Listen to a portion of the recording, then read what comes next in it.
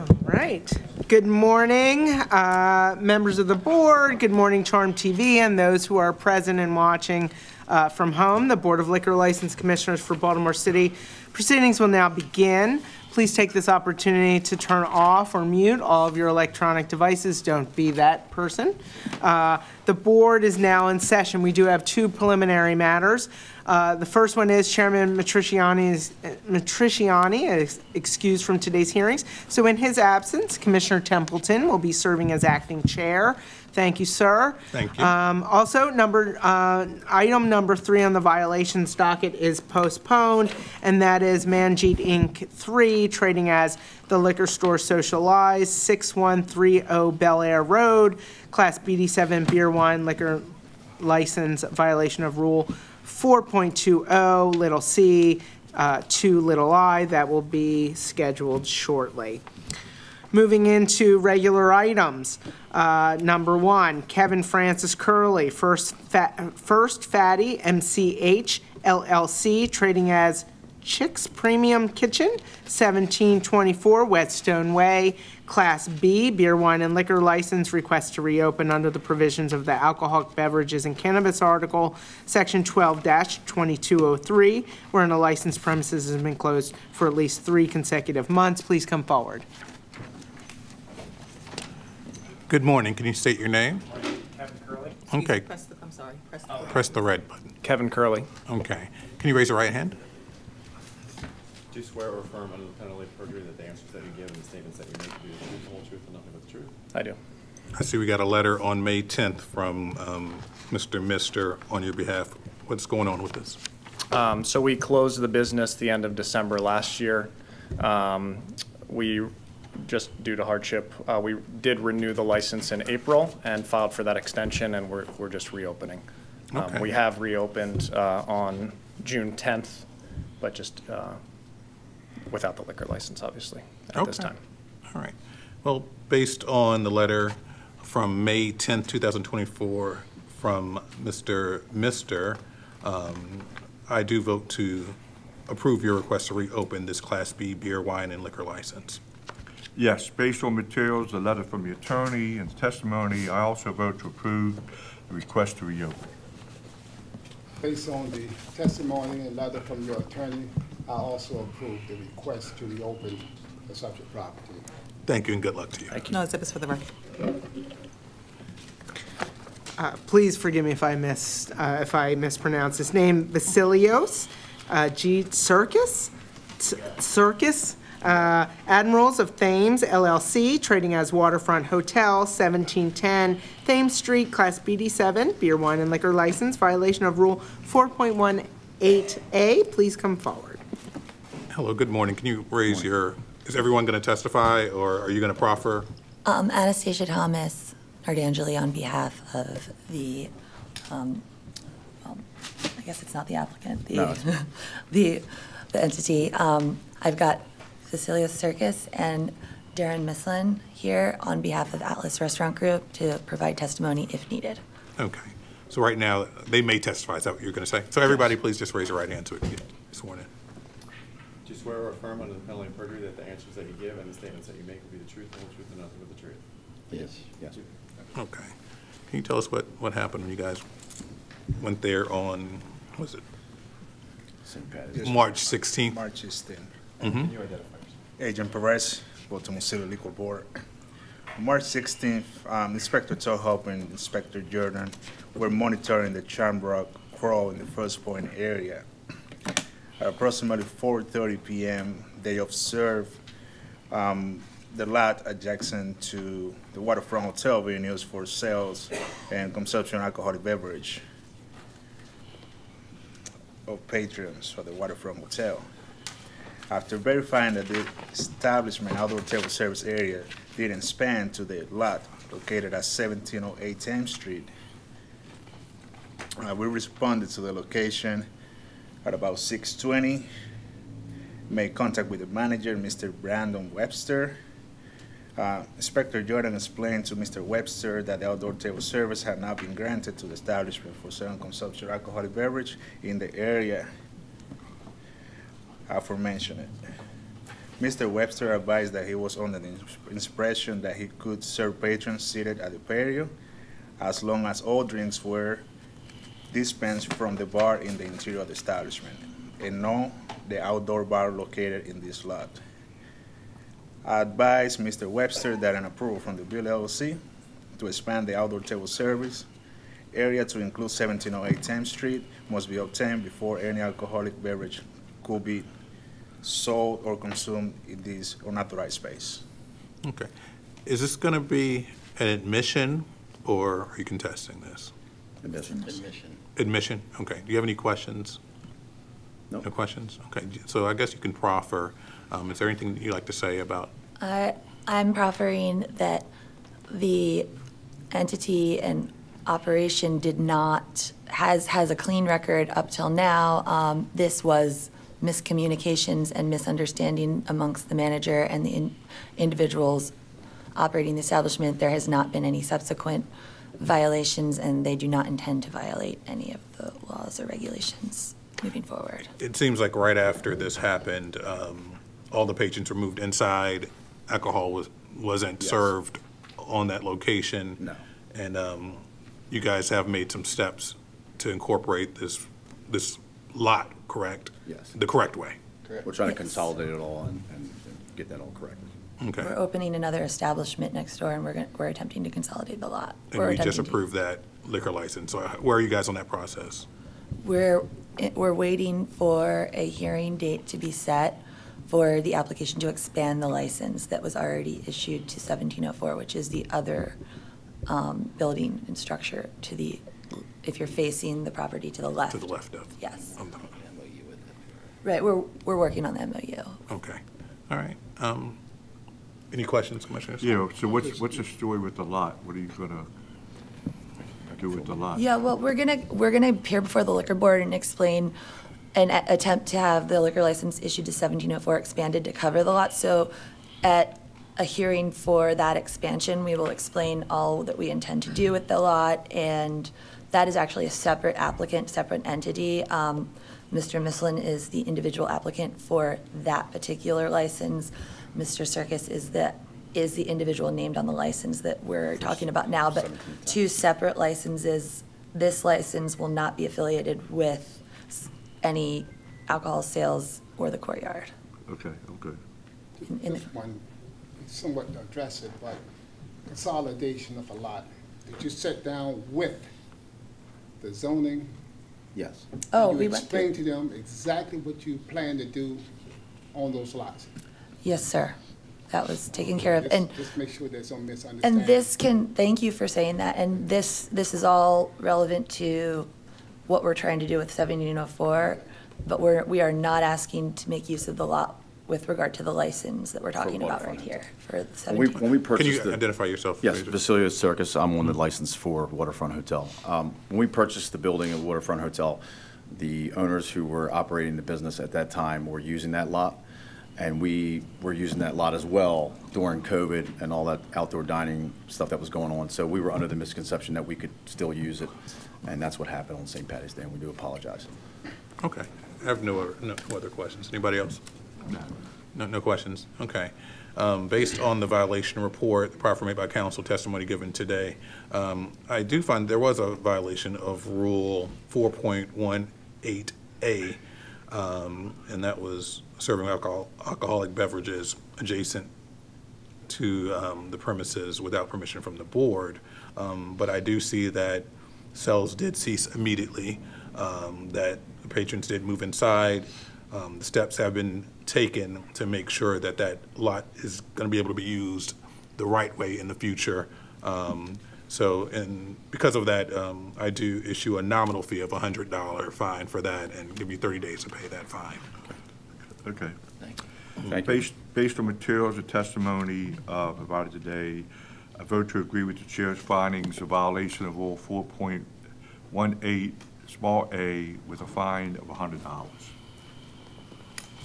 I too find for a violation of Rule 4.1A, little a, on March 16, 2024, for serving alcoholic beverages on the adjacent lot without permission from the liquor board. I also uh, am guess I, I'll give you a fine of one hundred dollars also. I'm down, I'm good. Yes. um, So I I believe that's it. Ms. Russell? I close it for the record. Board Exhibit One, violation report, uh, Agent Perez. Okay, thank you, guys. I'm glad Thank you you guys very getting much. it in order, Have a great okay? day. One more turn. Need Spellings. Again, I apologize if I mispronounced the name. Uh, Zan- Zanting Charles Coe and Jason Jose Acevedo Rosario, Castle Seafood, Inc., trading as Castle Seafood Restaurant, 3720 Potee Street, Class B, beer, wine, and liquor license, violation of Rule 3.12, violation of Rule 3.08 Little A, violation of Rule 3.09 Little B, violation of Rule 4.16. Please come forward. Please identify yourself. Identify yourself. Not guilty. Excuse me? No. Say your name. Yeah. Uh, Jason Acevedo? Okay. No, man. Rosalba Jordan, Inspector. Agent Perez. Okay. Is this going to be an admission to these violations, or are you, are you challenging them? I'm trying to figure out, uh, Are- I'll say, Are you saying that you did these violations, or are you saying that you want to challenge them? I did not do all the violation because I don't have too many people Okay, okay. inside. All right, so let's raise your right hand. Everybody raise your right hand who's going to testify. Do you swear or affirm under the penalty of perjury that the answers that you give and the statements that you make will be the truth, the whole truth, and nothing but the truth? Yes. Okay. Inspector, can you go ahead and start and tell us what happened on that day? Sure. On March 14th, 2024, we arrived at the location at around 4:30. Um, As soon as we approached, we saw uh, maybe about 100 people just standing around outside waiting to get in. Um, We approached and we spoke to the door people, and they didn't have a count, um, and they didn't know the capacity of the place either. Then um, when we walked in, people were uh, smoking hookah and marijuana based on, you know, we could smell it and see it. Um, Then we went on to the outside patio where we saw it was extremely overcrowded. There was, uh, I think I, 170 and uh, is our capacity, but we counted approximately 250 people outside. And they were standing around because there wasn't enough seating for all those people, and they were uh, carrying drinks, and they were bringing them from the inside out to the patio. Um, Then we, you know, I spoke to Mr. Acevedo, and he agreed to stop the hookah and the marijuana and to uh, stop the people from entering further. So he did agree with that. Uh, Then um, Agent Perez and I hung out a little while to see, you know, make sure that he was in compliance. Um, When we heard what sounded like a fight inside of the patio area, um, when we heard that, we approached a, a police officer that was a unit that was just in the area, and they came inside, they broke up the fight. Um, then um, the, you know, the party ended. Uh, people from the inside started coming out, spilling out to the uh, parking lot area. Um, they wouldn't disperse. Then those people uh, went on to across the street where there's a park, uh, like a shopping area. They were there, and this whole thing took about a few hours. We got there at 4:30. The police weren't able to gain control until 7:30. Uh, um, It was that bad that they had to have the county um, helicopter unit come out to help out. Okay. I'm sorry, Chairman. You want to step in? Uh, Go ahead. The, the lieutenant, the incident commander from that day is here to testify if you need him to. Okay, all right. Do you have any questions for our inspector? no, I don't have no questions, but the only thing I'm saying, I'll stop the club. Yeah, I'm going to give you a chance to speak. I just want to know if you have any Uh, okay. questions at this time. no, And I'm going to let you say anything Yeah. that you want to say, Yeah, okay? she- That's you right. Okay, all right. Any? And does anyone else want to testify? Um, Would you like to come forward and testify? Anything? Yeah, yeah, I do want to hear briefly what was going on Good morning. from your perspective. Yeah, you can identify. Uh, I'm Lieutenant Julio, I'm assigned to the Southern District. I'm the uh, shift commander for the 3 to 11 shift at nighttime. Uh, During this incident, uh, came out, everything she said was factual, came out uh, as a fight for the, on the law enforcement side. So we got there, there was several hundred people outside. There's so many so that I had to stop answering calls for service in the Southern. I had to go to other districts to ask for officers to come down to help out, just due to shortages and, so basically, we shut down a bunch of police districts and calls for service in reference to this. Uh, I had to get Baltimore County assets, I had to use Baltimore County Aviation to come out to give us crowd sizes, crowd movements, things of that nature. It took us several hours to get in front of this. Okay, thank you, thank you. Is anyone from the community, are you from the community? I am. Okay, what's your name? My name is Andrea Mayer. Can you state, state it in the mic? My name is Andrea Mayer. Did I'm a have some- Brooklyn resident and a Brooklyn business owner. Mhm. This business has been a chronic problem ever since they opened. I really wish you would shut them down. They've been horrible for the neighborhood. Um, I go into a lot of detail, but it should be in the records. I really wish you would consider not giving them their license. I'm begging you not to give them their license. Did you see what happened on this date, or were you around on this date? I was not around on this day. Okay, all right, thank you for your input. Were you there on this date, or did you see what happened on this date, ma'am? You can identify yourself first. My name is Christina Bittner. I work with a group called Action Baybrook. I'm one of the employees. I can only say that we've received numerous complaints from community people, from residents about loud music. And um, one gentleman said his, the fur- the furniture in his house shakes at night when they have uh, events. And it's, it's been an ongoing problem, and we'd like to see it taken care of. Okay, I understand, but were you there for this? You didn't see I what was happened on this there. one? Okay, thank you. Um, I'll address that when we, when we make our ruling. You want to come forward? Yes. Go ahead and tell me what you want to tell us about what right. happened on that day. She was right with everything she saying, but when I saw so many people coming, coming in, I shut the club down, put everybody out, because, you know, I do not knew it was gonna come, that crowd of people. And the hookah was outside in the patio, and the weed probably smell was outside too in the parking lot, you know, there was a lot of people around outside. So, by the music, I don't know, because I don't have, putting no music because I got a lot of fine actor, so I'm stopping lot of music outside. So I don't know what you're talking about, about the music being loud and shaking. We, we, we can discuss just what happened on, um, March the fourteenth, okay? Yes. So, so we won't address that right now. Okay. Um, so my concern is the inspector said that they did see people smoking marijuana inside of but we stopping people smoking outside, you know what I mean? I'm not gonna stop everybody because, you know, it's a lot of people. We have to be walking. All my security people are trying to stop everybody smoking marijuana, but people so smoking outside, you know, it's still gonna, smell gonna be smelling, you know what I mean? Because they smoking in the, outside in the parking lot.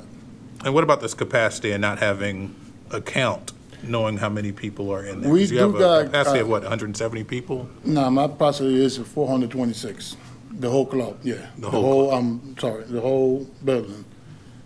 We now was uh, out of the capacity inside Mm-hmm. at all, Okay.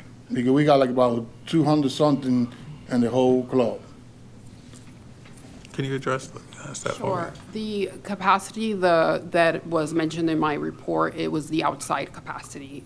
Um, Inside, there wasn't a lot of people inside, but outside, it was extremely overcrowded in the patio area, so much that there wasn't enough room for everybody to sit. And they were just walking around carrying drinks from the inside out. Have you been back, or anybody been back since the date of this violation? Has there been any other complaints or any other issues? I since- myself haven't been back. no. Any other issues since March? If we could bring Matt up, um, he's the one that deals in the community, uh, meetings, and I don't know if they, have they mentioned any other issues? No, no other issues. issues, okay. Thank you.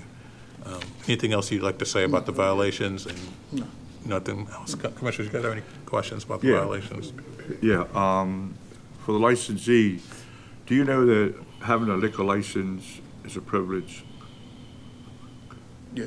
Okay. Step up to the mic. Oh, sorry. So, do you feel like, I mean, sitting here regards to management inside and outside, because the outside is part of your license, do you have enough security? Are you looking at adding security? No, we got a lot of security. We got like six, seven security every time. Then why is, why are they having these issues? I mean, are they No, they always, enforcing? the police always go down there. Even I got a small party, like they say a hundred people. They will, they always go ask me, so you need help or something. You know, I would talk to them. They will come by. Every time I got something going on down there, they do come by. Yeah, I talk to the police always. The, Uh, so there's, there's cooperation with the Yeah. police. I'm just looking at these violations that you have to try to have them corrected, so you're not back here again. That's, I always try to do my best. Every time the chariot or Yeah. either one go, you I'm on- know, I always try. I know you say you try, I'm not being ignorant, I'm just saying you gotta do better to I, take care I'm of this. doing my best. You do better. Okay. Do you have any questions? Yes, just one thing, the capacity for the, for the lot. Yeah. What's the capacity for the lot? Is there a stated capacity for the lot by itself? 170. That's the last time I checked, it was 170. And then do, you- on your estimation, was it more than one seventy when you made your inspection? We stopped counting at 250. At two fifty? Yeah. Okay. Now get back to you. Hmm?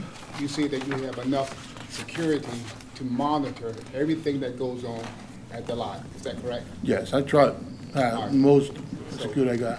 Who makes the assessment as to whether or not you need to increase your staff? Are you the owner or the manager? or- I'm the manager, yeah. Manager? Yes. So when you look out and see that lot, there's a lot of folks, and you got six people out there trying to monitor what's going on. Is, do anyone check to see whether or not your instructions given to the people who are participating at your location is being followed? Who is the person that say, well, they're not doing what we asked them to do? We need to close this down, or we need to employ more people so that we can monitor Me. this. Have you ever said that to yourself? Yeah, I always, like, I get more people. See, I know the party's gonna be, like I say, big. I bring more people. I always bring a lot of security. They can tell you how many security I always bring. Okay, so, so, th- so let me, let me make this clear to you. Um, I think one of our biggest concerns is the use of assets. So when you have helicopters coming from the county, you have the police that have to be at your location for an extended period of time. We know that they have to come down there sometimes, I understand on the business. When we have our inspectors there for what, 4:30 to 7:30? Yes. Yes. That's like, you know, three hours of time that, um, because of your establishment. And then when you have, um, six other violations that we've had here. And I understand you've made some changes and you've tried to fix some things. Um, but you're, you're getting close to the point where we can suspend or revoke your license. And I want you to understand that that's very serious. And you're at that point now your leeway has, you probably used almost all of it up. Do you understand that? Yes. Okay. Um, I do like that you haven't had any um, other issues since this date. Okay, so I'm ready to, to move forward. Uh, Based on the um, violation report, um, the sta- the testimony that was given today by everyone here, um, I do find that you did violate Rule 3.12 um, on March 14, 2024. On that same date, I see that you did violate, I cite that you do violate Rule 3.08, small a. Also, you did violate Rule 3.09B on March 14, 2024, and also Rule 4.16 on March 14, 2024. Um, I do cite a um, fine of $1,500 per violation. So that's going to be 1,500 times four, um, $6,000. I give you 30 days to pay that, okay? Yes, uh, based on materials and testimony provided today, I also agree with the chair's findings, a violation of Rule 3.12, $1,500 fine, violation of Rule 3.08A, uh, $1,500 fine, violation of Rule 3.09B, $1,500 fine, and violation of Rule 4.16, uh, $1,500. So I agree with the chair's findings. And 30 days of pay. Also, I fined for a violation of Rule 3.12 on March the 14th, 2024, because the police responded to the address, fights amongst patrons inside the establishment, and they had to disperse the crowd. Also, I fined for a violation of Rule 3.08, little a, on March the 14th, 2024. The establishment was over the posted capacity. Also, I find for Rule 309, little b, on March the 14th, 2024. Shaka hookah is being smoked within the establishment. I also find for a violation of Rule 4.16 on March the 14th, 2024, marijuana being smoked within the establishment. I assess a uh, $1,500 fine for a rule, violation of Rule 3.12, $1,500 for Rule 3.08, little a, $1,500 uh, fine for Rule 3.09B, and $1,500 fine for Rule 4.16 and you have 30 days to pay.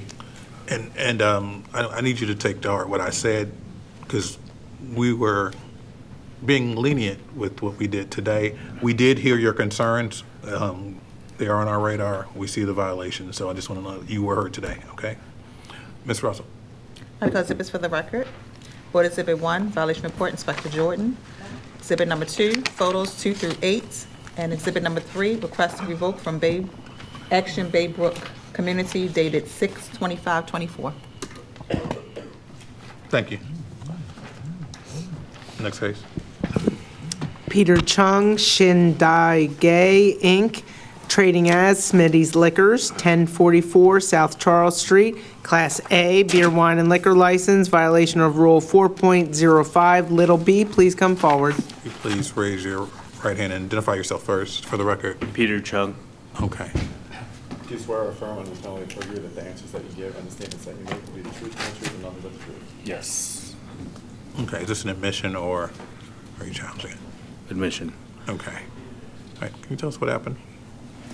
And identify yourself. Inspector Brown for the Baltimore City Liquor Board. Um, on that Sunday, 421, I was in the area answering a 311 call, so I parked outside on Charles Street, and from my peripheral, I looked over and I seen somebody coming out of the Smitty's Liquor. So I walked over and I walked inside, and I talked to the gentleman, identified as Jeremy Lee Chapman, and he was, and I asked him, I said, can I see your license? And he said, I don't know where they at. I said, well, I know where they at. They up here. I said, are you aware that you are not to be open on a Sunday? He said, I was open for the last couple Sundays. I said, well, sir, I'm letting you know, you cannot open on a Sunday. And I said, you need to turn them lights out and you need to close ASAP. So I did my um, investigation and I wrote my report and I, and I told him, I said, well, I'm going to violate you for opening on a Sunday. And he closed up and I left the premises and I sat outside for a while. Okay, thank you. Do you have any questions? No. Okay. Uh, Mr. Chung, so, what's going on? Um, You know you're not supposed to be open. Yeah. Good morning, Board. Um, Just wanted to apologize for taking up the board's time with this matter. Uh, It was the end of the first quarter for the year, and that's when we usually do our yearly inventory. And then we had to do it on Sundays because we don't want any sales coming through. But as the inspector said, she saw someone come through, um, come outside. And I never told my employee that not do a sale, so I guess he just did it anyway. So I take complete responsibility for that. And in the eight years that we've been there, this has never happened before. So going forward, I will make sure to say there will be no sales on the days that we're open doing inventory. And the reason why the door was not locked was, I mean, I just feel it's safer for the employees doing the inventory, for them to be able to get out. Okay. And you've had that conversation with all of your employees, is that Yes. correct? Yes. Any questions from the commissioner? No question. No. Yeah, I, I see that you haven't had any other violations, and this is the first one. So, um, yeah, based on the testimony given today, the violation report, um, I do find that there was a violation of Rule 4.05, small b, on April 21st, 2024, and it's selling alcohol on a Sunday. Um, Because there are no other violations, and it seemed like you stepped up and took responsibility and also took steps to make sure this doesn't happen again, I'm going to issue a $150 fine and give you 30 days of pay. Thank you. Yes, based on materials and testimony provided today, I also vote to agree with the chair's findings, a violation of Rule 4.05, small b, with a fine of $150. Based on the testimony given today, I find for a violation of Rule 4.05, little b, on April 21st, 2024, for selling alcoholic beverages on Sunday. Thank you, and good luck to you. I you. also agree with the uh, $150 fine, 30 days to pay. Thank you very much. Thank you. Good luck to you, Ms. Russell. All right, close exhibits for the record. Board Exhibit 1, violation report, Inspector Brown. All right. Thank you. Jeffrey Danick, Holy Frijoles, Inc., trading as Holy Frijoles, 908 through 12 West 36th Street, Class B, beer, wine, and liquor license. Violation of Rule 3.08, little a, violation of Rule 4.07, little a. Please come forward. For the record, Melvin J. Kodenski representing the licensees. Good morning. Um, Is anybody going to testify, or is this an admission? So I'll make an admission, and I'll try to take the path of least resistance here. Okay, all right. Um, um, What what day did did you guys get there? Can you step up, please? I'm Um, Inspector Tudhope, Baltimore City Liquor Board, on 4/6/24 at approximately 11:52. Inspector Chris, Chief Inspector Chris Mellis instructed myself, Inspector Jordan Washington, to investigate an anonymous complaint received at 809 to 1236 Street at the establishment known as Holy Frijoles for hundreds of people outside. I arrived at approximately 12:10 and I observed approximately 50 people outside and they were all standing around drinking. At approximately 12:30 myself, Jordan and Inspector Washington made contact with the night manager, Mr. Burden Jankowski, and made him aware of the complaint and told him that he would be issued a violation for people not seated outside and being served. Okay. Um, After you witnessed this, did you give them any instruction? Did they comply with any of your instruction? Uh, we stayed there for a little while. Um, Mr. Jankowski did go outside. Um, we had to get to another call at that time, so we didn't stay around too long, but the people were still milling around outside drinking and standing when we had left. But we did instruct him that all people should be seated outside and served. Okay, all right. Ms. Kudisky? Yeah, the- this um, particular licensee's been here since 2012, has not had any violations, been here. First time. They're having a lot of problems, starting from COVID, where people thought they could be outside, and then outside dining, you have three two tops, it's a small, but people have a tendency to go outside and mill around. Uh, Both the licensee and the manager here have have taken proactive steps, they're starting to post, and I'll give you this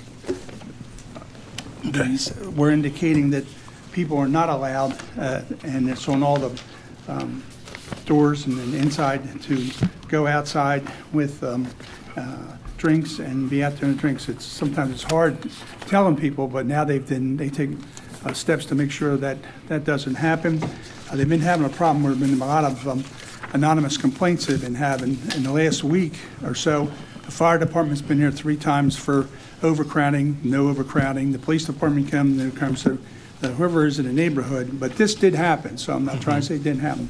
But I think they've taken the steps now to um, uh, let everybody know, and they're going to have, um, the manager's going to be near the door at all times. Okay, so is, is this going to be, a is this a staffing issue, uh, being able to, uh, if you're going to say something?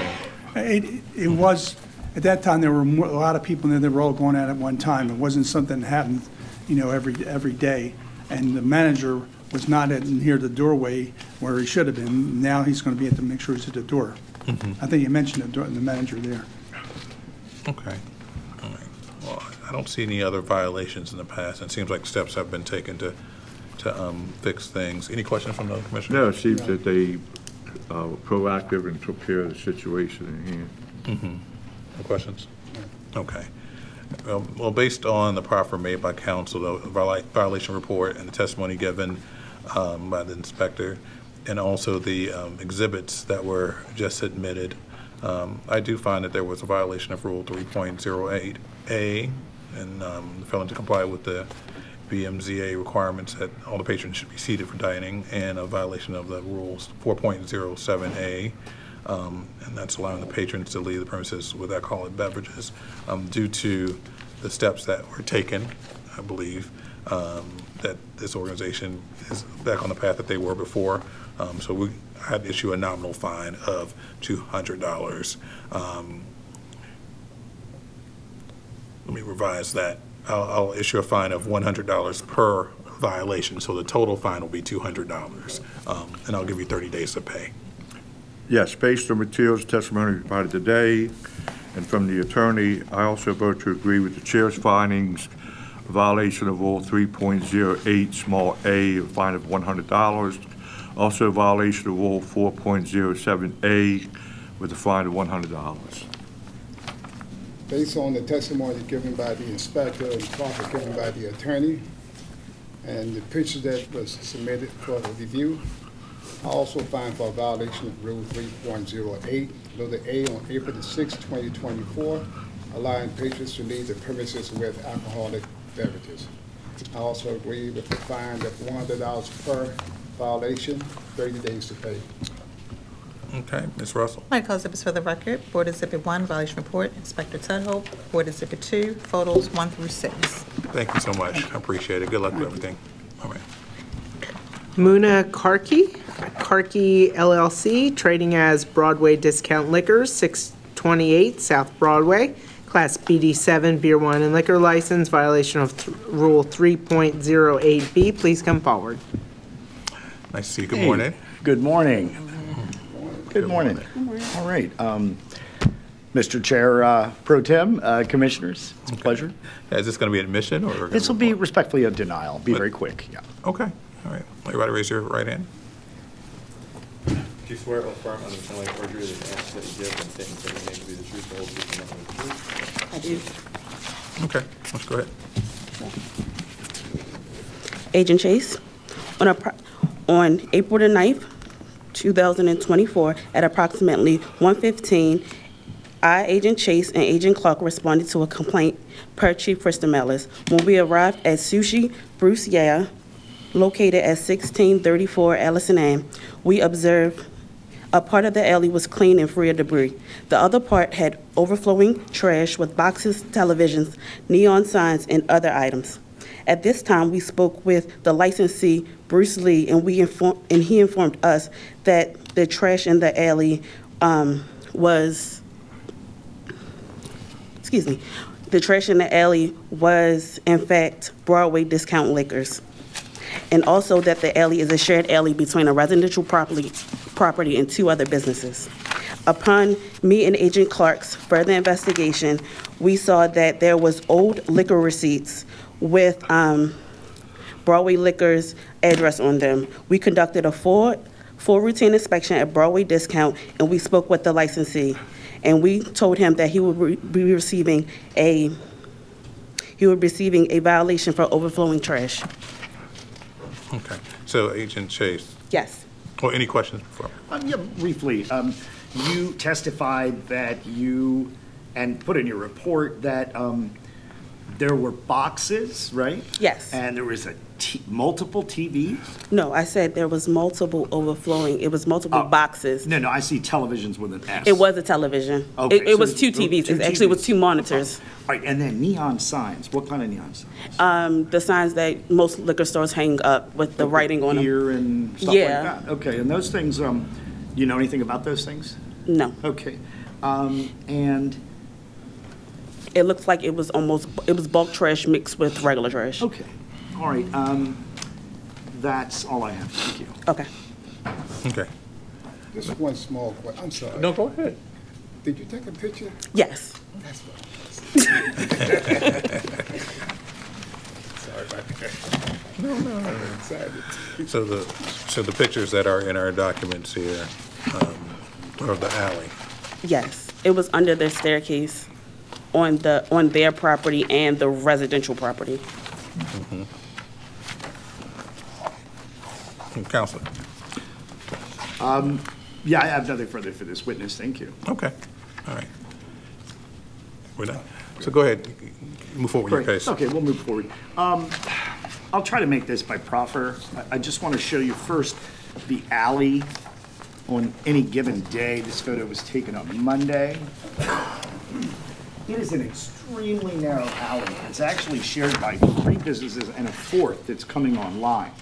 Um, It's a little bit of a fire hazard. I mean, it could be considered a little bit of a fire hazard, these giant bins. So first and foremost, um, the difference between this business and the other now three businesses on this very, sharing this tiny alley, is that they're the only one that has a private enclosed area because they have a deck on the second floor of this building. Um, 628 Broadway has its own enclosed area. And I'll show you these pictures. And these aren't, um, quite frankly, glamour shots, to say the least. You see these, all this recycling piled up on the inside of the property.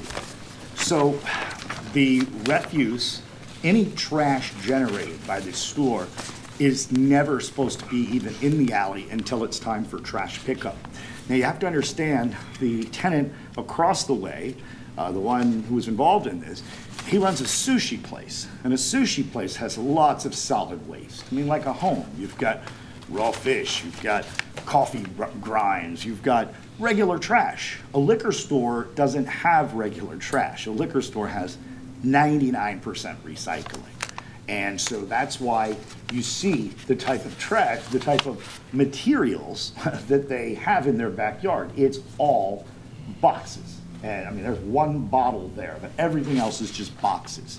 So the idea that stuff belonging to the business is beyond this little fence. And you can see the fence in both pictures, so to, to show you where the private area is. So that said, I've asked Ms. Parkey, they haven't thrown any neon signs away. Those neon signs are expensive and are often returned to distributors when need be. Um, they don't have any televisions in the liquor store, so they didn't throw away televisions. Um, now, something fun, you know, because we're this is what we do for a living. So, We have a rule that I guess we just did a revision of the rules here, but next time we want to put this one on the list because Rule 2, 3.08B only talks about garbage and refuse material. It doesn't talk about recyclable items. There are legal definitions that say that recyclable items are items that are not intended to be in the stream of solid waste disposal. So recycling does not equal garbage or other refuse material. That said, um, my client believes that there was some kind of illegal dumping that went on behind the place. I don't, uh, don't, you know, disbelieve, I believe that the inspectors, when they're looking at this detritus, this obvious bulk garbage, the kind of thing you call 311 and have the city pick up, you don't just leave it there.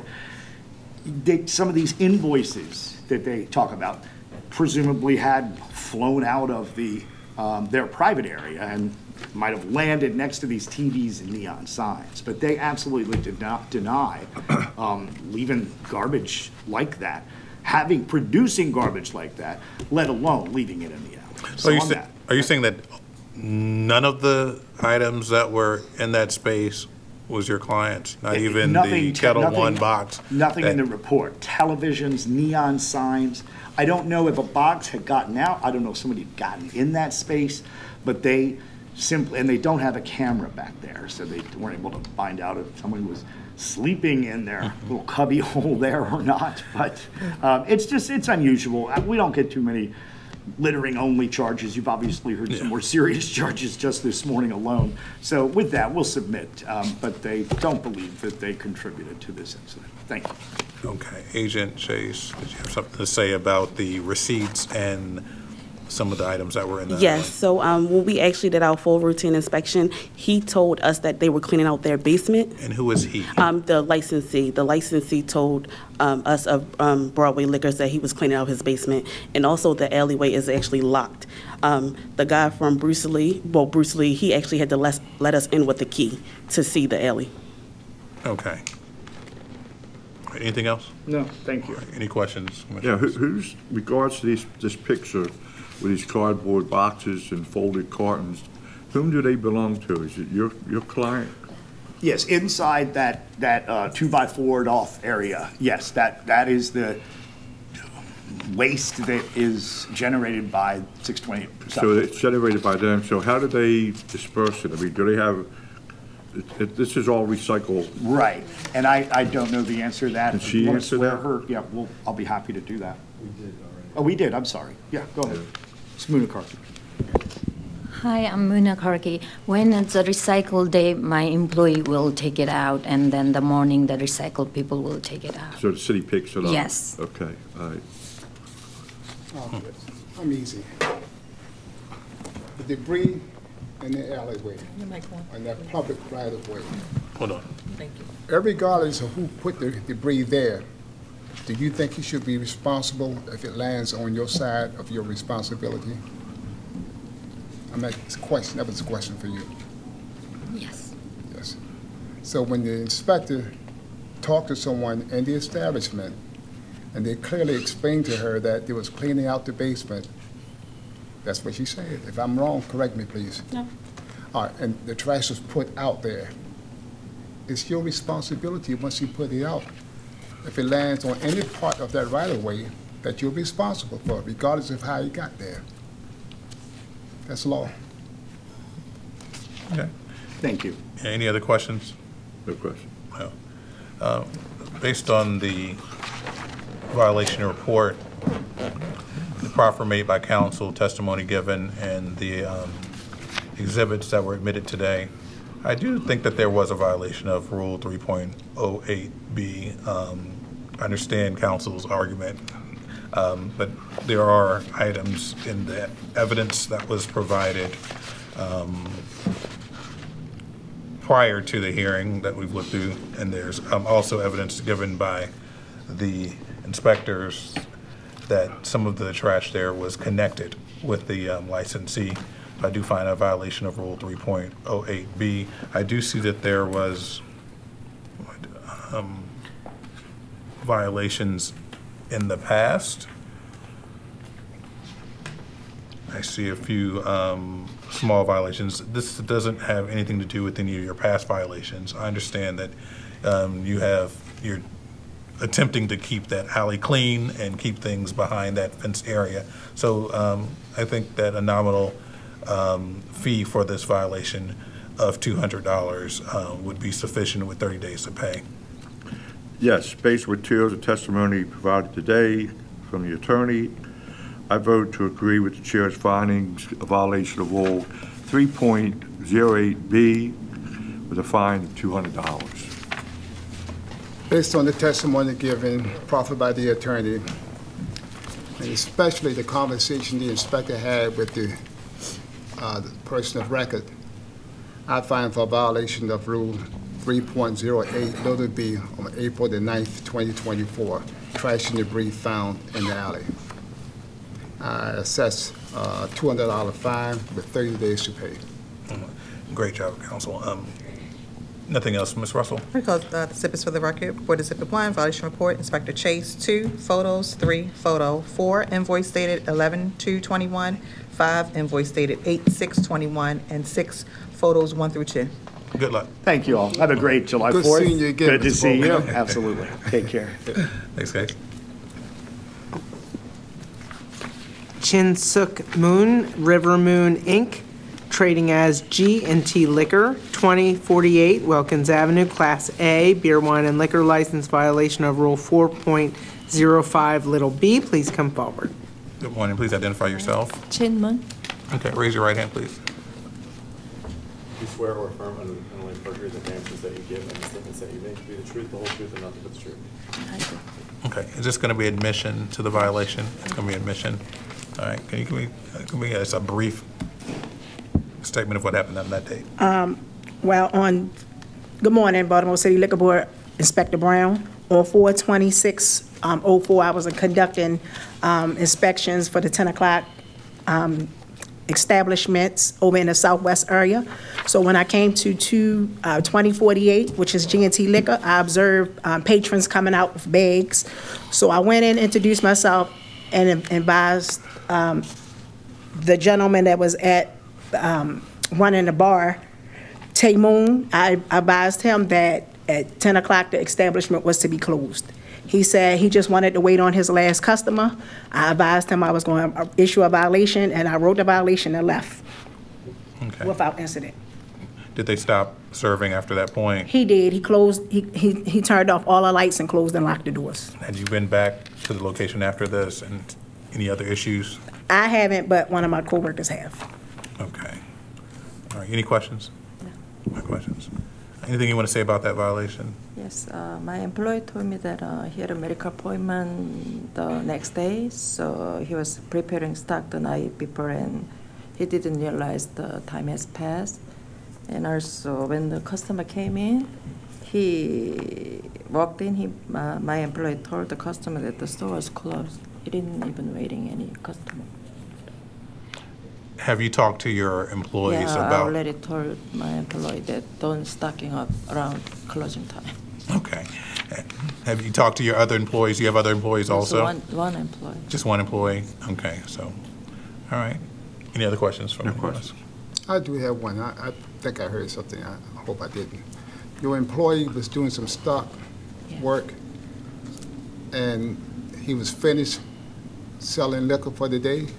Yeah, I heard that, but I, I don't know. I, I'm not. I'm, I'm not. he wasn't, I wasn't there. okay, why didn't he lock the door when you, normally when, you- if your door is open, you open for business. But if you close your door, then You have to open. get out of the store at the front and shutting down. So yeah, I don't- I don't know what was going on, but thank we don't have any lock inside. it. Thank you. So you only can lock it from the outside, is that why? yes. All right. And you said you've made, you've talked to your employee and that this is not going to happen again? Yes. Okay. All right. Based on the testimony given today, um, the violation report also, I do find that there was a violation of Rule 4.05B on April 21st, 2024, um, for selling alcohol past 10 PM. I do see that you um, don't have a history of violations in the past. It seems like you took the steps, um, so this may not happen in the future, and I hope it doesn't. Um, I will issue a nominal fee of $200 and give you 30 days of pay. Yes, based on materials and testimony provided today, I also vote to agree with the chair's findings for violation of Rule 4.05, small b, and with a fine of $200.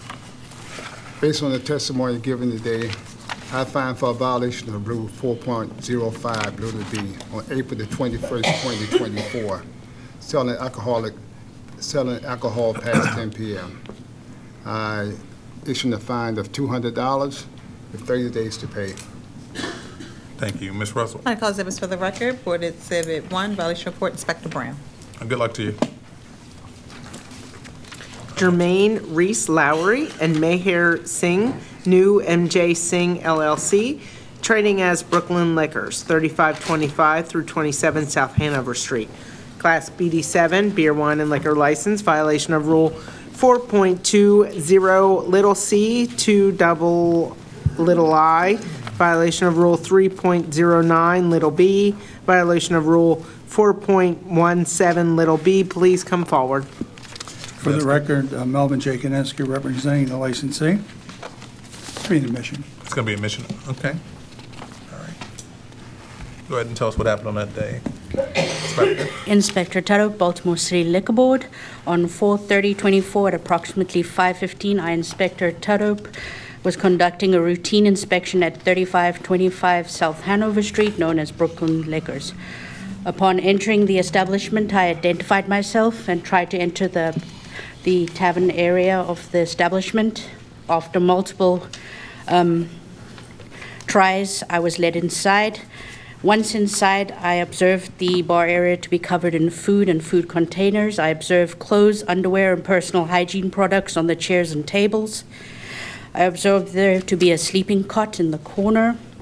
I also observed mattresses in the utility room. The stock was being stored on the floor, and what appeared to be a kitchen set up behind the bar area. I also observed the three compartment sink to be empty, dirty dishes in the hand washing sink. I made um, contact with the licensee, Mr. Singh, and advised him that the tavern should be open and operating at all times. when the packaged goods is open. Mr. Singh stated that he did not know this and would keep it open from now on. I, Inspector Tudhope, issued Mr. Singh with a copy of the rules and regulations of the Liquor Board and told him that he would receive a violation left without further incident. Okay. What happened, this um, gentleman bought the property at auction, took forever to get everything straightened out, and he finally got the license transferred. As you can see, the license was transferred about a year ago, and has no violations. He had a person there who he thought was helping him, when the person was not helping him in the place, trying to keep it up because of the problem, which he's since gotten rid of, and he's rectified the situations, and I can show you pictures, of the fact that um, he had taken care of the area, the bar is uh, open and stocked, Uh, the three compartment sink is um, uh, filled, and in the stock area, uh, everything there is above, um, six inches above the floor. Um, I think he, Yeah, I seen it, great, CC, yeah. you know, I think that was a lesson that he should not have with somebody that he knows to help out and do things in the place, and he's got to have better control over what you know, people who are in there on it, but uh, he understands, and all the uh, packaged goods are sold over the the bar area there that you can see. Okay. Has anybody gone back to look or checked on the Um, location? Inspector Washington, re-inspector on 5924, and a satisfactory routine inspection was done. Okay, so it seems like everything was, was handled. Okay. Any questions from the commissioners? No. None. Okay. Based on the violation report, uh, the proffer made by counsel and testimony given today, and the evidence that was admitted today, I do find that there was a violation of, and admission made by counsel today, that there was a violation of Rule 4.20C, little, two little i's. Okay. Before I go, does, community members, do you guys want to say anything? Do you want to testify in anything? How many violations did you find? If you'd like to say something, you can come on before I, I make the ruling. Um, Again, my name is Chris Bittner, I'm with Action Baybrook. Yes. I just wanted to, uh, we have a serious problem in Brooklyn with prostitution.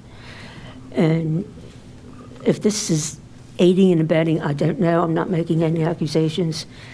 It needs to be addressed. Okay. And I just have, I do have a question. Were you here on the date of this incident? No, And did you see anything on. April 30th on that day? No, I was not there. Oh, Okay, we do hear your concerns, though, about the neighborhood. Yes. Anything else from you? Okay, thank you so much. Thank you. Uh, Again, I do find a violation of Rule 4.20C double I, um, failing to open a tavern uh, for on-site consumption when the packaged good area is open and operating, in violation of Rule 3.09B, um, also failing to properly utilize a three-compartment sink, in violation of Rule 4.17B, um, with alcoholic beverages stored on the floor. Um, For each of those violations, I do um, issue a $150 fine for each of the violations and give 30 days of pay, so a $150 fine for first, second, and third violation. Yes, based on material testimony provided today from the attorney, I also vote to approve the chair findings of violation of Rule 4.20 small c with a fine of $150, violation of Rule 3.09 small b with a fine of $150, and violation of Rule 4.17b with a fine of $150. Based on the profit given by the attorney, testimony by the inspector, I find for a violation of Rule 4.20 little c, uh, two little i's, on April the 30th, 2024, reference failing to open tavern area for on-site consumption when packaged good area is kept, I'm sorry, is open and operating, excuse me. I find for a violation of rule, also for, I find for a violation of Rule 3.09 little b on April the 30th, 2024, failing to properly utilize the three-compartment sink. I also find for a violation of Rule 4.17 little b on April the 30th, 2024, alcoholic beverages stored on the floor. I find for $200 per, I'm sorry, $150 per violation, and you have 30 days to pay. Ms. Russell? I call about the, I'm sorry, the exhibits for the record. Uh, Exhibit number one, violation report, Inspector Tudhope. Two, photos one through five. Thank you very much. I appreciate it. Good luck to you. I apologize in advance if I mispronounce your name. Olatunde DiPolo, DiPolo, Good Budget LLC, trading as Club Bellissimo, 1001 through 03 East Pratt Street, Class BD7 Beer, Wine, and Liquor License. Violation of Rule 3.09 little b and violation of Rule 3.12. Please come forward. For the record, uh, Melvin J. Kodenski representing the licensee. Um, I just have a couple quick questions. I'm not really, uh, with regard to the hookah, I'm not making an admission on the hookah with an explanation. And just to the loud music, I just have a couple of questions of the um, inspector, inspectors, plural. Go ahead, inspectors, can you go ahead and give us an idea of what was happening on April 27, 2024? April the 27th, 2024, um, I, Inspector Brown, responded to a 311 call for um, Club Bellissimo. I parked a block down, so upon, when I walked up, upon my, you know, walking up, I can feel a bass coming from the wall. So when I walked in, I looked at the DJ, then I walked to the bar, and I spoke to um, the, the club employee, which was, excuse my, if I say it wrong, Cheikh Di- Diop. And I spoke to him, and I told him about the um, complaint, and I told him the bass was too loud, the music was too loud. And uh, I, when I walked in, I observed multiple um, hookah things and people smoking. So I spoke, when I spoke to the manager, I told him, I said, you can't smoke in here, and you have to turn the bass down. So I told him, I said, I'm gonna write you a violation for hookah, and I'm gonna write you a violation for loud noise. And I wrote the violation and I left. Okay, any questions? Just a question, is the the standard you're using, you're not using any decibel standards, is that correct? Correct. All right, and there was no violation from the health department? Correct. And there, and on either one of those? Okay, and they were cooperative with you? He was. Okay, I have no further questions. Okay. Just my argument is that there's really no standard on the, on the noise violation here. Um, Used to be the board had decibel readings. Mr. Jones probably remembers that. Um, And then if you violate it, because there's questions, you have some ambient noise versus noise, and um, the question is, uh, it was a uh, a complaint. The hookah, there seems to be a big mi- misunderstanding on hookah, and it comes, it comes down to be a cultural thing where uh, people from various cultures. He was never told by the health department he couldn't have it. I explained to him, you cannot have charcoal hookah, you can have electronic hookah. That's not what they had here, because the electronic hookah doesn't have an open flame. This has, so they've got, did away with all the um, charcoal, and they also going to monitor the, the sound a little bit better than they were in the past. Okay, and, and you said you heard the sound from down the block, is that what you Yes. said before you got there? Yes. All right, and the sound has, um,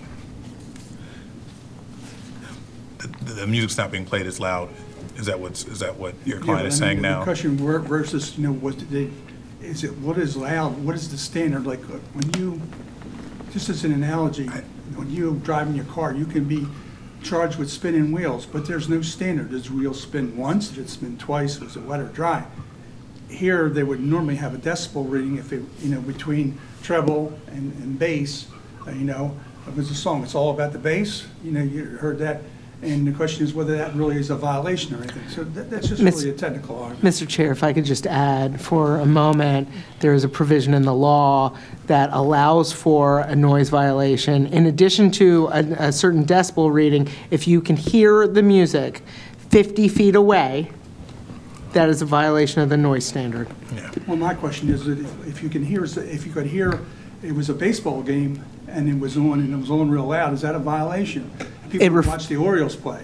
Mr. Kodenski, it I refers to music, and, Well, and But they're playing, you know, charge, da, da, da, da, da, da, da, charge, and it goes through the whole thing, and Mr. Wiz is whizzing everybody, and they're playing music. I mean, it's. I, I I understand, I understand, but I, I think. I gotta our- make the argument. I, I, mean, I like your argument. I think that you did a great job for your client. That'll be, that's Uh, refreshing. I, I think you did a great job for your client. That's why I asked the follow-up question to the um, inspector, and how far away was she? And I, and I think that her experience uh, from doing this for a little while, she knows if that music was a little bit too loud. Um, I do like that you stated that your client is monitoring the, the, the volume now, and, um, and, and we shouldn't see him here in the future. I don't see any, um, other violations from him. Um, I think this probably was enough to get his attention. Any questions from any of the commissioners before I No. make my No. ruling? Okay. All right, so I do see that there was a violation, and I cite you a violation on Rule 3.09B with the charcoal hookah being smoked within the establishment. Um, And on that one, I'll issue um, only a $150 fine, given um, now that he knows the rules and knows that he can't do that. If you come back here another time and they're smoking hookah inside, you can't say you didn't know what was going on, and it's going to be a completely different story. Um, This is the first time nominal fee for that. And also on, same thing when it comes to the violation of Rule 3.12, um, the loud music. I'll also issue a $150 fine since it is your first violation um, and give you 30 days to pay. But you know now to make sure that you monitor the sound and no more hookah, okay? Yes, uh, based on material testimony uh, provided today from the attorney, I also vote to approve the chair's findings of violation of Rule 3.09, small b, with a fine of $150, and violation of Rule 3.12 uh, with a fine of $150. Based on the testimony given and the inspection, excellent report. I had fined for a violation of Rule 3.09B, little b, on April the 27th, 2024. Shaka being smoked within the establishment. I also fined for a violation of Rule 3.12 on April the 27th, 2024, loud music. I assess a $50 fine for each violation. You have 30 days to pay. Okay, Ms. Russell? Medical exhibits for the record. Board Exhibit 1, violation report, Inspector Brown. 2, service request summary report dated 4/27/24. 3, service request summary dated 4/27/24. 4, service request summary dated 4/26/24. And 5, service request summary dated 4/26/24. Thank you, Mr. Kodenski. Good luck to you. All right. Gabrahan Gabrezgi and Daniel Tekelmariam, D and J Beer and Wine Inc., trading as, excuse me, D and J Beer and Wine, 3600 West Garrison Avenue. Class A Beer and Light Wine License, violation of Maryland Alcoholic Beverages and Cannabis Article, Section 12-2007, little i. Please come forward. Once again, for the record, Melvin J. Kodenski, 320 North Charles Street. I'm representing the uh, applicant, uh, licensee, excuse me. Is this going to be an admission also? It, it's not. It's not? Okay. Have everybody raise their right hand? Do you swear or affirm under penalty of perjury that the answers that you give and statements that you make will be the truth, the whole truth, and nothing but the truth? Okay. Can you step forward and tell us what happened on May 3rd, 2024? Inspector Tudhope, Baltimore City Liquor Board. On May 3rd, 2024, at approximately 11:08 PM, um, Liquor Board Inspectors Tudhope and Jordan, along with the Social Club Task Force consisting of the Baltimore City Fire Department and Baltimore City Housing, conducted an investigation at the establishment known as D and J Beer and Wine located at 3600 Garrison Avenue. The task force found the establishment open and operating. I, Inspector Tudhope, made um, contact with the licensee as identified by his driver's license and made him aware that the task force would be conducting a compliance check of the establishment. I, Inspector Tudhope, asked to view his liquor license. Upon review of his liquor license, I found that the establishment hours of operation was restricted from 9 a.m. to 10 p.m. daily. I asked Mr. Gabrizi if he was aware that he was operating outside his permitted hours of operation. He stated he did he was not selling any alcohol and was only operating as a convenience store after 10 p.m. I, Inspector Tudhope, informed him that he was not allowed to operate after 10 p.m. and showed him his liquor license stating this. I instructed Mr. the licensee to close, and he complied. We left the establishment without any further Let me just ask you very quickly, there were no sales being made when you came in, and you didn't try to purchase any product, beer or wine, is that correct? No, And there were no customers in there buying beer or wine? no, And he does have a food operation there, a convenience store, is that correct? yes, And um, when you go in to buy the, the place that you buy behind plate glass, he puts it in a turnstile and you, and you get your product, correct? everything was locked behind doors. Behind, yeah. behind. So at at that point there, you were able to witness that he did have um, food for a convenience store in the back? He does, yeah. Okay. All right, and then you're saying you has to, he has to close, he has to cease alcoholic beverage, beer and wine operation by 10 o'clock, correct? He has to cease operation, as Uh, according to his license. To alcohol, the the only thing you have control over is the beer and wine license, He's a liquor establishment, he has to abide. beer and by the wine liquor- establishment. Yeah, beer and wine establishment. I go with what's on the liquor license. Okay, but you would have, if we being operating, someone would have to come in and buy, buy something. Nobody bought anything after 10 o'clock. No, but he was open and operating. We witnessed How do you know he was leaving. operating? Operating means that you would come in and they have to buy something. If you came in and say, give me a box of Cheerios, he's certainly not selling you a bottle of wine. He would need permission from the board to stay open past those hours To to sell- sell Cheerios. To sell Cheerios? Yes. Okay, that'll be a first. M- Mr. Chair, if I may. I just have one question for an inspector.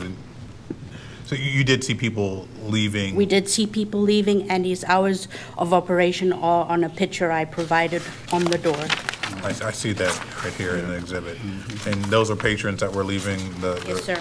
And it was after hours? He also um, showed patrons away while we were there. We made him close while we were there, and he, pe- people were trying to enter the establishment. And what were the people leaving with?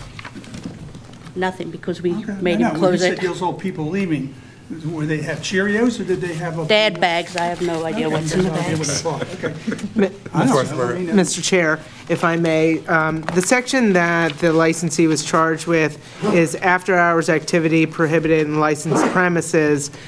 Bless you. Um, The law provides that a licensed pre- premises shall end all operations at the closing hour. The law does provide for several um, very limited exceptions, which this licensee does not qualify, nor does he have. Um, Thank you very much. My argument is that you cannot, if it was a gasoline station that had beer and wine, you can't stop them from selling gasoline. As long as they're not selling beer and wine, and profit, then my client says eighty percent of his sales come from being a convenience, and they're behind glass, so you be able to sell your convenience products. But if you came in after ten o'clock and you bought a, a six-pack of Coors Light, then he's wrong. But you didn't have that in this case. And, and just one more, one more thing to put in there. This law has been upheld for, uh, and has been determined to be constitutional. Uh, It's constitutional for alcohol, but not for Cheerios. Yeah, yeah, we, but, but you do see the, the business hours that were posted and your client was operating after those business, posted business hours. But that's his business hours. Okay. No, no, I'm, I'm saying is that. But you did see that though? Yeah, he, he, he can pick his hours that he wants to open to sell convenience store products, but you're right, and he's, from now on, he's gonna post there, no sales of beer and wine after ten o'clock. Question is, can he sell his Cheerios at ten thirty? I think he can, otherwise it's undue restraint, a trade with, you know, the board only has control over beer and wine, alcohol, and cannabis. Why you have cannabis, I have no idea, but you do. And, um, that's my argument. Make, I have to make the argument. Yes, you, you had a question, Commissioner? Yes, I mean, it says here, if I'm reading correctly, that uh, it's supposed to be till 10 o'clock is closing time, am I correct? For sale of beer and wine. I don't, It does not say that on your business hours, it just says just says close. close at ten. That he's got, on his picture, it's got, he's got till, on Thursday, Friday, and Saturday, he's open till 11 PM, and he's supposed to be only, he's supposed to close at 10. Add for alcohol. You can get your I don't- Cheerios at ten thirty. I don't know about the Cheerios, I just don't, Can I just make, can I just Come clarify yes, that? yes, um, go ahead. Chief Chris Amalis, so just like uh, an A cannot open on Sundays and sell chips and a can of soda, just like a BD7 can't stay open after 2 AM and sell pancakes without the permission of the board, Same thing with this license. If he'd like to stay open without the permission of the board, he can obviously forfeit his license, his beer and wine license, and sell only Cheerios. Um, However, he needs the permission of the board to stay open after the hours of operation if he sells alcohol. Thank you. But you see, the license that you granted him says grocery store. So it was granted as a grocery store. So you can't say you can give him a license with the, with the beer and wine and grocery. You gave that to him, so he does have it. What you can say, and I'm saying you, I'm using the euphemism you, uh, that, you know, he can't sell beer and wine, and there's no proof that he sold beer and wine after 10 o'clock um, in this case. So I think it's a, uh, a de minimis argument here that he was out, open and operating, selling beer and wine after 10 o'clock, because we have no proof of that. It's the, as we say among the Latin scholars, the difference between the allegata and the approbata, that which is alleged and then that which was not proved in the case. And I'll rest my case. Okay. You have any more questions? No, I just don't, I think when they're supposed to close at a certain time, I mean, I, I'm going into the weeds. When I had the bar, I had to close at two o'clock. I can't keep it open if I'm gonna sell potato chips and gum and stuff like that. I mean, you have to close, you, you know. Any questions? None, I have, absolutely none. I- Although I do appreciate the argument made by counsel. um, uh, Based on the violation report, um, argument made by counsel um, through a proffer, um, the testimony given um, today, I I do believe that there was a violation of um, Maryland Alcoholic and Beverage Cannabis Article 12-2007A, um, open and operating past a 10 PM closing date.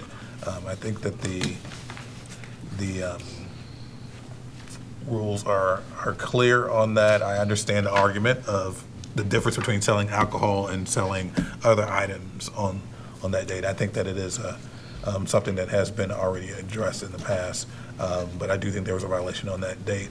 Um, I do think that um, now that your client knows that he can't do that, or some changes have to be made for him to do that, that we will um, issue a fine of $150 for that violation um, and give him 30 days to pay.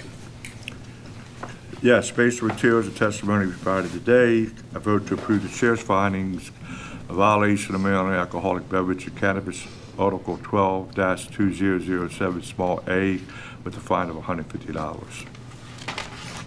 Based on testimony given proffered by the attorney, I also find for a violation of Maryland Alcoholic Beverage and Cannabis Article subsection 12-2007, letter A, on May 7, 2024, open and operate, operating past 10 p.m. Ms. Russell? I call exhibits for the record. Uh, Board Exhibit 1, violation report, Inspector Tudhope. One second, one second, did you say that? Yes, I find for $150 for 30 days to pay. Okay, I think I jumped the gun on No- that no one. problem. You got it, Ms. Russell? I took that. That's me, man. I'd like to call exhibits for the record. Board Exhibit 1, violation report, Inspector Tudhope. Counsel, thank you for your arguments. I I heard it all, and um, thank you so much. Have you had any cannabis violations? Oh, no, we, Board, from the board? well, we could, we can discuss that off the record. No, no, I'm, not- yeah, off the Uh-huh. record, I'm saying, it's interesting, I was just wondering, you know, what would you do with a cannabis violation? Yeah, You that's- you haven't had one, I don't think. No, that's the way that the article was, was put together. But um, I want to thank you. That was our last case. Yeah. We're Okay, I'm still sorry. on the record. Yep. I mean, I can We're still on the strike that record. Part after, I mean, it- we have to say. Yeah. Oh, well. After we wrap up, um, we can talk about this some more. Thank you guys very much. I think it's the last. Yes, last case. sir. There being no further business for this board, the board is now in recess uh, until Thursday, July 11th, 2024 at 10:30. We're adjourned. Thank you very much, everyone. Yeah.